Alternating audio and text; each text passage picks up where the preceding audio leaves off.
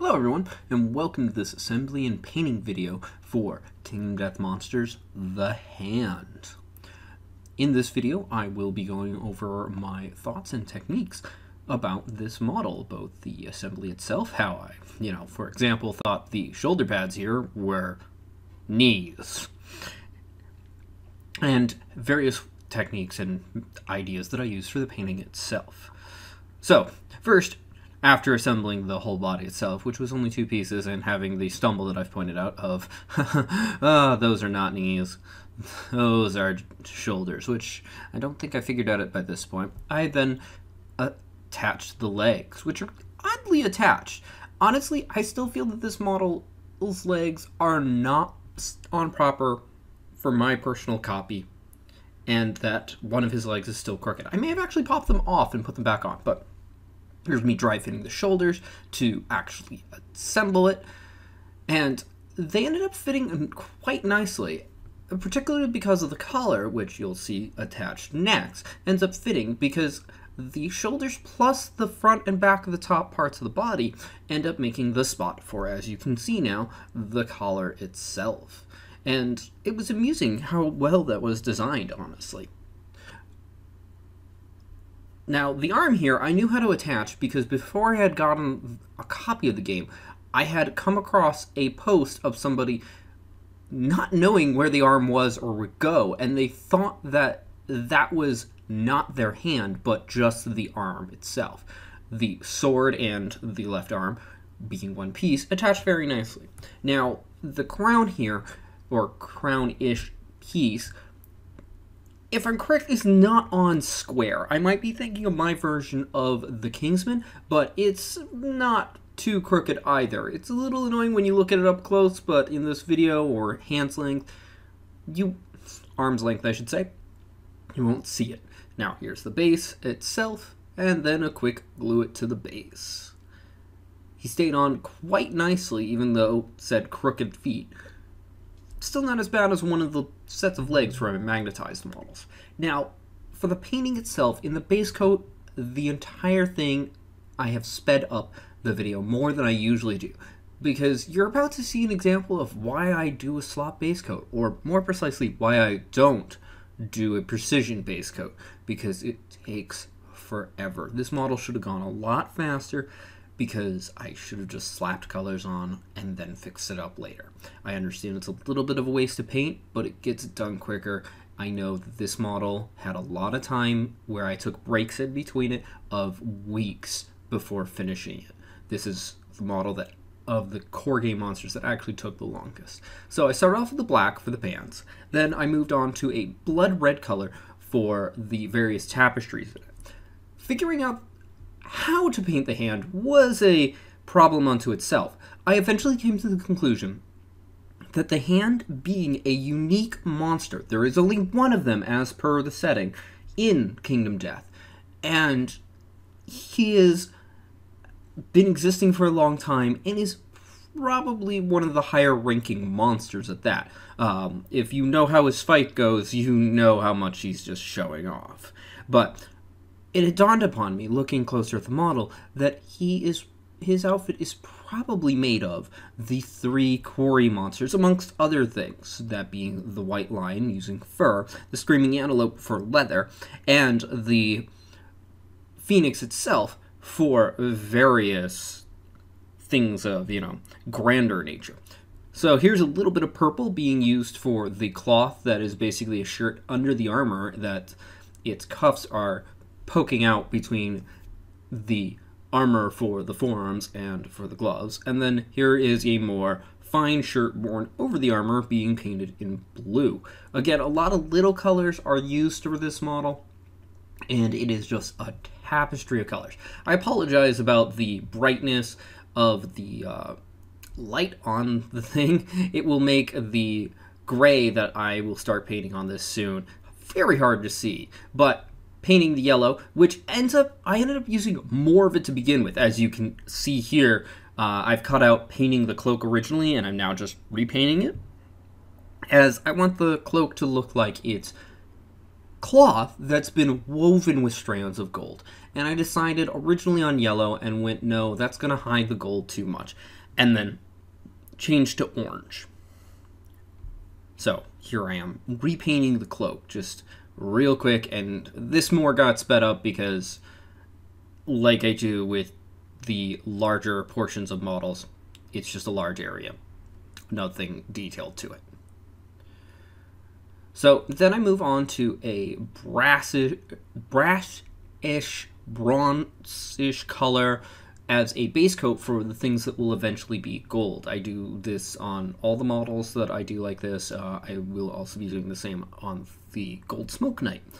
But this is a paint I don't really like using because no matter what, I either have to apply it extremely thickly and risk losing detail, or I have to do two or three coats minimum. So it ends up a bit of a pain, honestly. Especially since this is a lot of the model. The model is almost entirely gilded with various filigrees and such, to the point in which there are actually some gems on there, but you'll see those later. So it ends up being the crown, the chest plate, the boots, or at least most of the parts of each of those. Oh, and the faceplate of the helmet itself. And as you can also see, the gauntlets. I think I later realized that I also needed to paint the fingers. So here is, I believe, again, I can't tell myself to begin with, but I'm guessing based on where I'm painting because of the light, that this is the bone. Bone ends up being another very integral part within this model, in my opinion. Like, a lot of things are not sculpted out of metals, they are sculpted out of bone, and then the chest piece itself is metals made to look like bone. Even the scabbard looked like it was made of bone, so thus you see me painting it here. And the hilt and pommel of the sword are definitely bone. But even its knees are bone, minus the gold plate on the front. So it ends up being a decent chunk of the model. Probably the second most used color in terms of detailed areas. Third most if you're counting the cloak itself. Even the crown around, and I believe the brain like cap on the top. yes, there it is right now.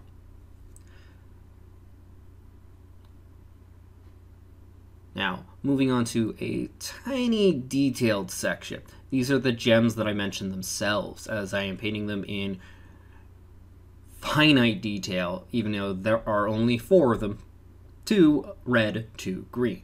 Then we move on to the ink wash.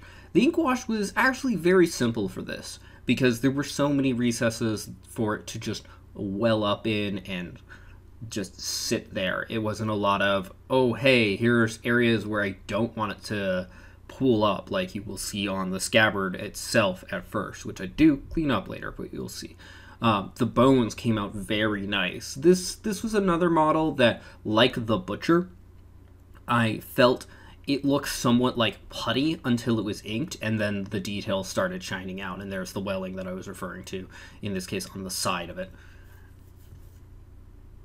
And in the case of this, with everything being so bright, it made it so that the colors would be more dull and thus better prepared for the highlight, which is the main reason I usually soak a model entirely in just black ink rather than some colored ink. I'd rather go with black and then adjust for other colors.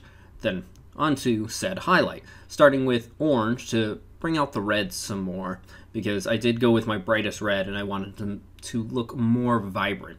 I didn't want to go with gold like I do with the cloak because at the end of the day, that's not what it is.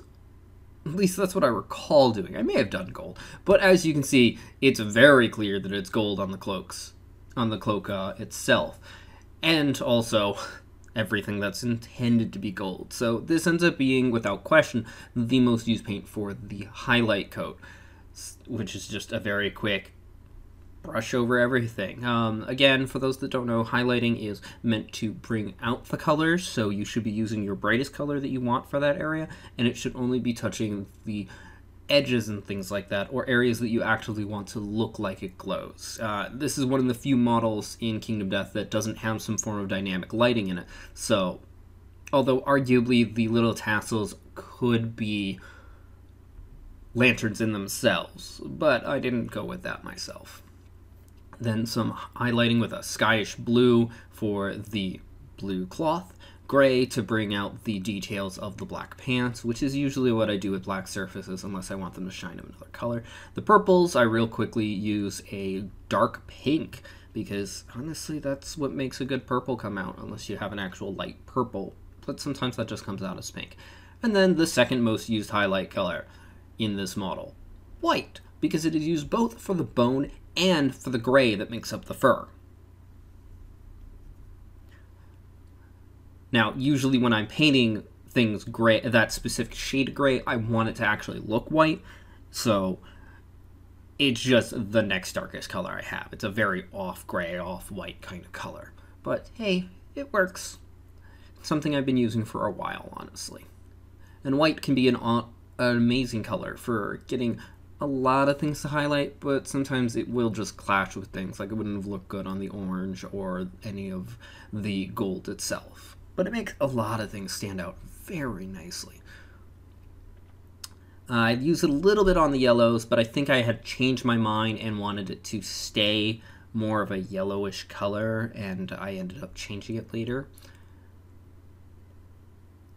A little bit of touch work here and there, and then back to the gems, using an even brighter shade than I did before, and not applying as much of a detail. Like I'm genuinely trying to dry brush it, but you can only do so much with something that small. And then here's the yellow that I was set, talking about. Oh, I forgot. He does actually have a lantern on his hip. So, yes, some dynamic lighting is used, but very little and just around the waist. And here is the completed model. Thank you for watching. I hope you enjoyed. If you found this video helpful, please feel free to press the like button. If you think this video will help somebody else, please share this video. Either way, you'll help get it seen more. If you didn't like this video, go ahead and press the dislike button. I won't mind, but please leave a constructive comment as to why.